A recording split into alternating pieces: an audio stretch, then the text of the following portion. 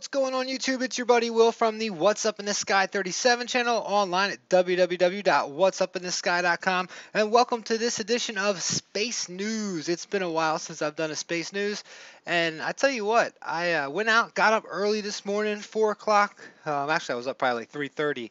Put on the uh, NASA channel and waited for the SpaceX launch. I'm on the east coast of, uh, I'm by Maryland, right by the beach here in Maryland, uh, by Ocean City and uh, Assateague Island, down around that area. And we got actually, I could see it after the launch. It took about uh, seven minutes for I could see it, and I tell you what, it looked like just a uh, a little little red dot. I'm gonna tell you, it looked like a star, probably about the size of a star. It had a trail behind it, and it was just kind of winging its way on up the coast. It was pretty cool, I must say. I got I got it in my sight for about two minutes and uh, I can give you a little bit of it here. I uh, before I left, I, I hit the record just to film a couple minutes of it. Seven, six, Let's take a quick five, look at it. Four, three, two, one, zero. And liftoff of the SpaceX Falcon Pretty cool. 9 rocket. And this was just a, uh, a refuel. Basically, bringing supplies up to to the the uh, International International Space Space Station. It kind of stopped a little bit during the uh, live feed, so I guess a lot of people turned it to live feed because usually that doesn't happen with my bandwidth here. Section 10.63. But as that went up, I, I couldn't see that far. That was down. They said if a 500 mile radius, you could see those first boosters. Um, I didn't see it till it was way up in the air and came up and over. So it was pretty cool. Here we go. Daring spare SpaceX rocket landing test crashes after after successful cargo launch for NASA. It's pretty interesting what they're trying to do here. So, a commercial Falcon 9 rocket built by SpaceX successfully launched a Dragon cargo ship toward the International Space Station early Saturday morning, then returned to Earth, apparently impacting its target ocean platform during the highly anticipated landing test in the Atlantic. The result, close but no cigar, according to SpaceX chief Elon Musk. Um, the Falcon 9 rocket launched into space at 4:47, and it went right off. 4:47, it was ready to go, and it was off. Saturday from Florida's Cape Canaveral Air Force Station, kicking off SpaceX's fifth unmanned cargo mission to the orbiting lab for NASA after a four-day delay. The liftoff was originally scheduled for Tuesday, but was pushed back because of an issue with the actuator on the rocket's second stage. Not all the action Saturday was in upward direction. The company also aimed to bring the Falcon 9's first stage down for precision landing on an anonymous an autonomous spaceport drone ship in the Atlantic Ocean. The rocket stage apparently hit its target, but a bit too hard. So basically, they're trying to reuse this this rocket each time. And uh, as it came down, it hit the pad or whatever it was supposed to hit, which is pretty amazing that it even hit it. Um, I guess the uh, autonomous part of it is the fact that it is out there uh, probably moving towards it. Rocket made from the drone support ship, but landed hard. Close but no cigar this time. Bodes will fear, well for the future though. Well, bodes well for the future. Um, this guy Elon Musk is pretty cool. I got a couple more stories about him in here. Just one. Ship itself is fine. Some of the support equipment with the deck will need to be replaced. He added, "Didn't get good landing impact video. Pitch dark and foggy. We'll piece it together from telemetry and act- telemetry and actual pieces." So, the uh, actual spinning of the Dragon part is well on its way into orbit. I think they're going to be able to arrive at the space station on early Monday. Um, the astronauts will grapple it using the orbiter's lab's huge robotic arm. They'll bring it on in and they'll get the food, scientific experiments, and spare parts. And uh, I do believe after that it comes on back. So they'll, they'll be sending back a bunch of. Uh, they're going to send back a bunch of different things too. And then the Dragon will come in. I do believe it's going to be landing off the coast in California, like off the California coast. So I'm going to put this, as always, I put the links to our space news in there. And here's a big one too going on. Opportunity Rover. I tell you, it's it's. Uh, I haven't I haven't done space news in a couple weeks, so I haven't been able to talk about this. The old and suffering from amnesia. Apparently, there's some memory problems that's been going on with the Opportunity Rover for a good while now, and uh, they've been doing trying to get the fix together for it. Uh, but it got up to a new point. It's reached a new summit, which is pretty cool. Of course, we're going to take a look at this probably in one of our videos. Has some interesting pieces in it around here because we, you know, we do the anomalous, the anomalous stuff in my channel. If this is your first space news, we got a bunch of new subscribers since my coffin on Mars video hit big. Um, so if you guys are new here, we do space news every once in a while. This is only something I do, uh, you know, once, twice a week. Um, sometimes even once a month, unless there's a lot going on. So the highest peak of the climb, here we go. NASA's Opportunity rover has keep on keeping well since past its expiration date, and even now its memory logging and ca- causing problems. Its memory lagging causes problems. The rover's just hit a new milestone in its Mars journey, the highest peak of its climb through the Endeavour crater. NASA calls the view one of the greatest, grandest in Opportunity's Martian career of nearly 11 years and more than 28.5 miles. It's pretty amazing that little thing's 28.5 miles. When I was at the uh, Air and Space Museum last time, I had a chance to, to see the life size, you know, the Spirit, Opportunity size rovers, plus the Curiosity. And they're still pretty big, even though they're a lot smaller than Curiosity. Um, but here we go. Pretty cool. You can check that out. It raises the American flag there. I got my mouse I don't like. Here, get back to there. Here it is raising the American flag. I thought that was pretty cool. You know, Opportunity had NASA had been worried last week the rover was having trouble with its flash memory, the type that doesn't lose information when the computer is powered down. Because of a fault in the flash memory, probably due to the rover's old age, Opportunity kept saving data to RAM instead, and when it powered down every night to store up energy for next day, all the data would disappear. NASA scientists are getting around this by downloading Opportunity's new data to Earth every night before they let it power down, but they're working on fixing the flash memory problem with the software tweak. It's encouraging that the Opportunity was able to make the last two days and the last 174 feet of its climb using NASA's crafty temporary fix for its amnesia. This could be just one of many age-related hiccups to come. It's like you have an aging parent in otherwise good health. Maybe they'll go for a little jog every day, plan a take tennis each day, but you never know. They could have a massive stroke right in the middle of the night.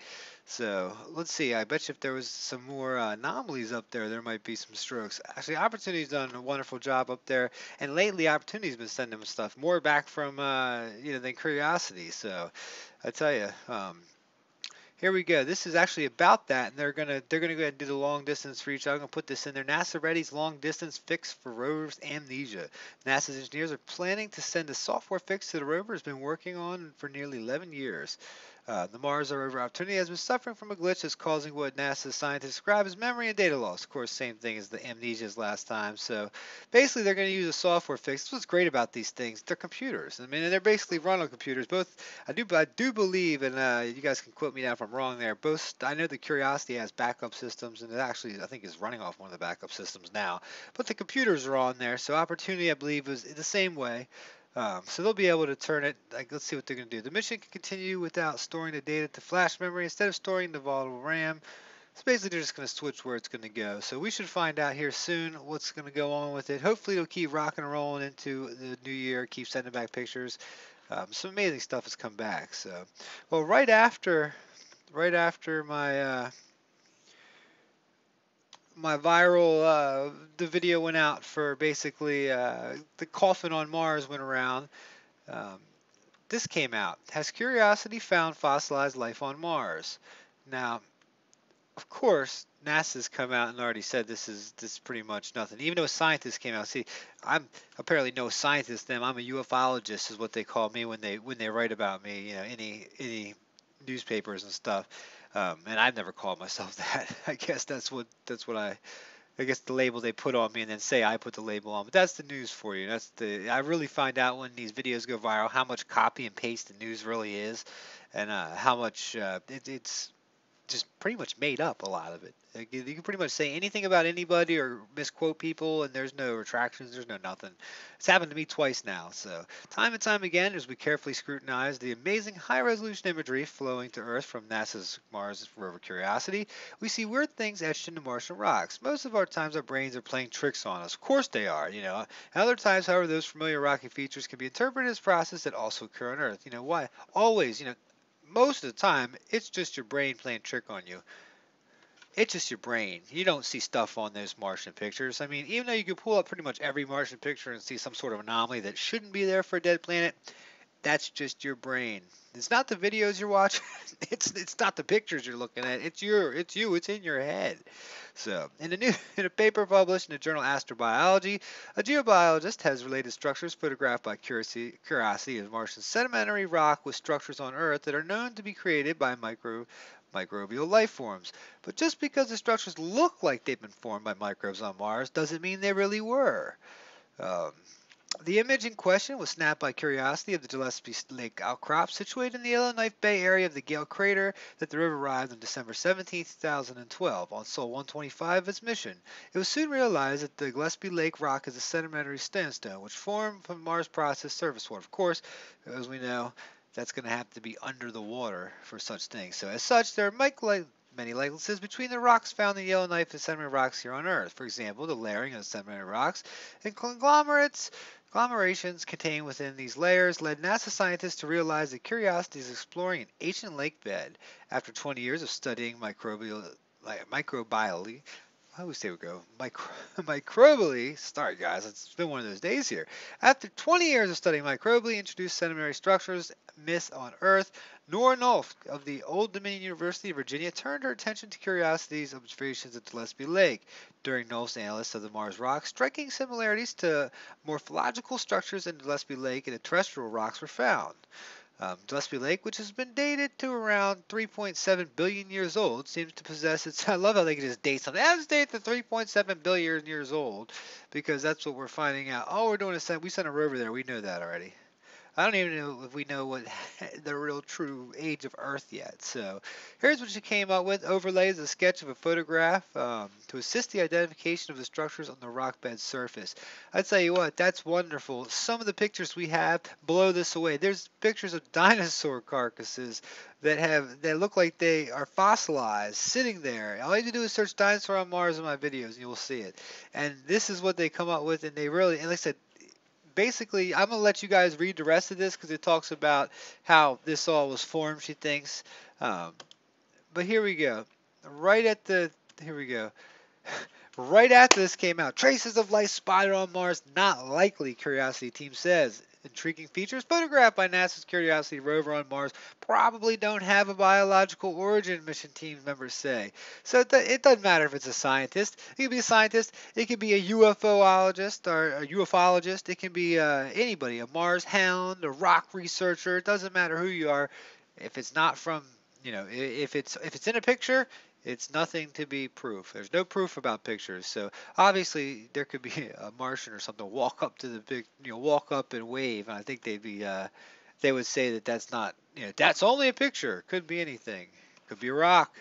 Study another Narv geobio- geobiologist who's a member of the Curiosity team, who's not a member of the Curiosity team, said that the Gillespie Lake features could be consistent with the biological origin, but she stressed repeatedly that it was just a hypothesis and she didn't regard the structures as proof of past life on Mars. Of course she didn't, because she wouldn't want to lose her jobs, um, whatever or whatever credibility she has, because that seems what happens to these real scientists who come out a little bit ahead of the. Uh, of the disclosure process I think that they're working down. So Curiosity team member also noticed Gillespie Lake structures which included domes, cracks, and pockets, among other shapes, said mission project scientist Ashwin Vasavada of NASA's JPL. But the rover team arrived at different interpretation. We really don't see anything that can be explained by natural processes of transponding the sand in the water, and the nature of the rock suggested that it was just a flow a fluvial sandstone. So basically they're just saying that the water did this. So we do have several members of our team who have always been keen to look out for things that might be caused by biological processes, but there were no reason we felt to explore that site, he added. Came down to nothing exceptional from our point of view. That was just cons- consequence of erosion of that sandstone. So once again, they're saying it's just your eyes. Um, nothing to see here. So as we go forward into our space news, SpaceX's Elon Musk to reveal Mars colonization colonization ideas of the year.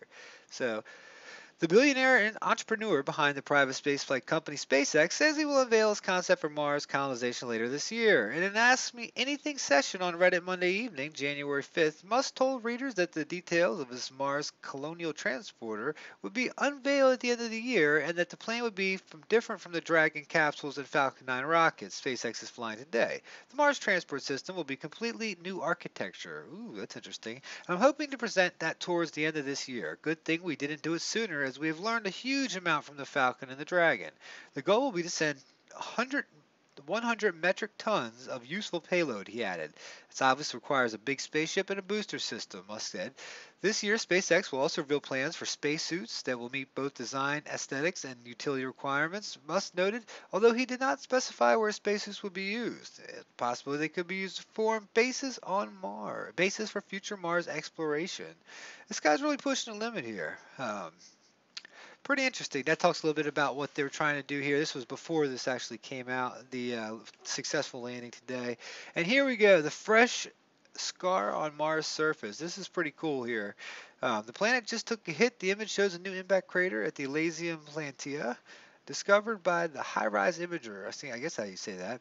Um, you can see the very distinct crater rim with the ejecta ejecta that the much darker sorry guys it's like I said it's been one of those days I'm just having fun today it's Saturday at, at 5:30 p.m. football's on after this I'm about to go watch the rest of the game Ravens are playing. I'm in Maryland, so I wanted to get this out before I uh, set down for football for tonight. I got a couple good ones coming up though for uh, some videos, so some more anomaly stuff. So if you want to get through this, watch it.